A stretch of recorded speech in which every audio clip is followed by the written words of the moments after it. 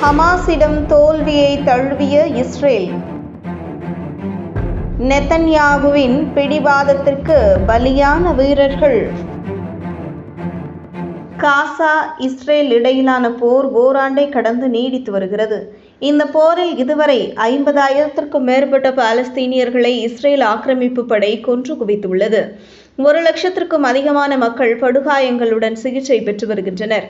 ஆக்கிரமிப்பு பகுதிகளை விட்டு வெளியேறும் மக்களுக்கு பதிலாக தமது ஆக்கிரமிப்பு படையை குடியேற்றும் வேலையையும் ஒருபுறம் இஸ்ரேல் செய்து வருகிறது.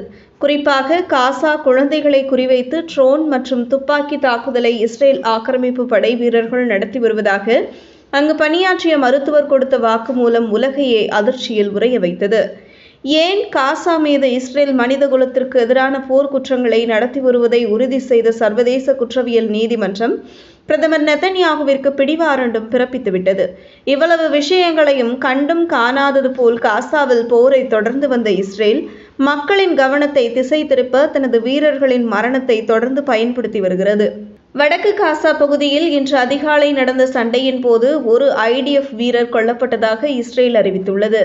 கஃபீர் படைப்பிரிவின் நக்ஷோன் பட்டாலியனைச் சேர்ந்த டேமர் ஓத்மன் என்ற இருபத்தி ஓரு வயது ஆக்கிரமிப்பு வீரர் பலியானதை அடுத்து உயிரிழந்தோரின் எண்ணிக்கை முன்னூற்றி எண்பத்தி ஒன்றாக அதிகரித்துள்ளது.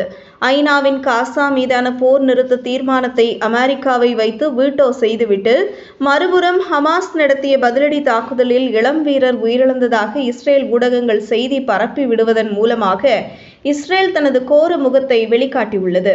அதாவது இஸ்ரேல் பிரதமர் நெத்தனியாகு காசா மீதான போரை சமரசமின்றி தொடர அவரது இனப்படுகொலை எண்ணம்தான் காரணமோ என உலக நாடுகள் எண்ண தொடங்கியுள்ளன.